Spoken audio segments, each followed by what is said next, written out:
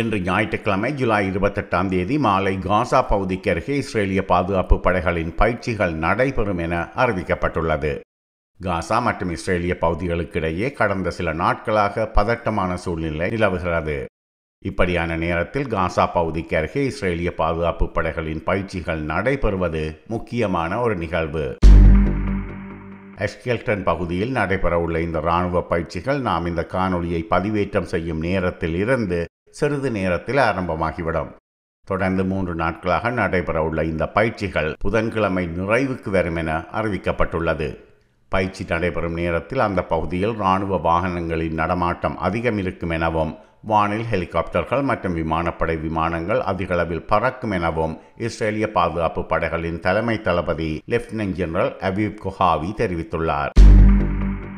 எதற்காக காசா பகுதிக்கு அருகே இந்த பயிற்சிகள் நடைபெறுகின்றன?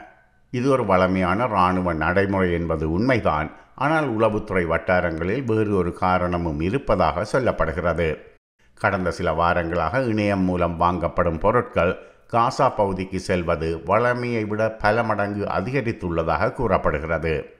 வாங்கப்படும் பொருட்களில் பல இருமுனை பயன்பாடு கொண்ட பொருட்கள் அதாவது so called dual usage products இவை சாதாரண சிவிலியன் பாவனைகளுக்கும் பயன்படுத்தலாம். இராணுவ பாவனைக்காகவும் பயன்படுத்தலாம்.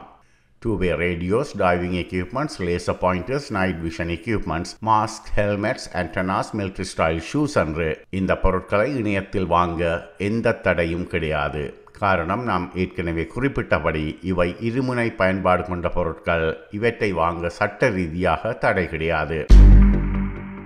இந்த பொருட்கள் காசா பகுதிக்கு செல்வது திடீரென பல மடங்கு அதிகரித்திருப்பது இஸ்ரேலிய இராணுவ உளவுத்துறையை உஷாரடிய செய்திருப்பதாக உளவுத்துறை வட்டாரங்களில் கூறுகிறார்கள்.